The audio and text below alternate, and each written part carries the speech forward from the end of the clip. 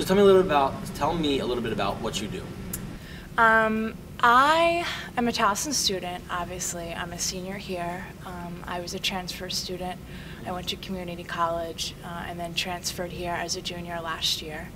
Um, so this is my second year at Towson. It's a little, still a little bit new for me. Um, so that's my number one priority job right now is being a student. And what I do is I work in the um, emergency department HIV testing project. It's a CDC funded program.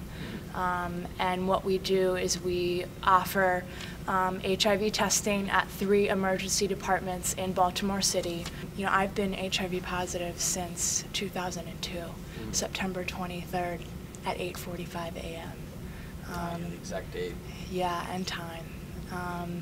And so I hold a very, very personal drive in making an, um, not just HIV testing, but just HIV and AIDS awareness, Mhm. education, um, and pushing people's boundaries and what we're used to.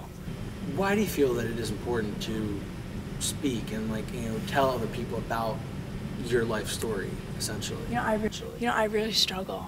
I really, really struggle. Um, I might make it look like it's easy, but it's not. Mhm. Um, I struggle with it every day when I take my medicine.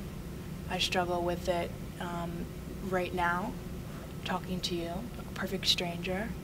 Um, and I'll struggle with it every time I speak. I struggle with it when I come home and eat dinner with my mom, um, in my personal life.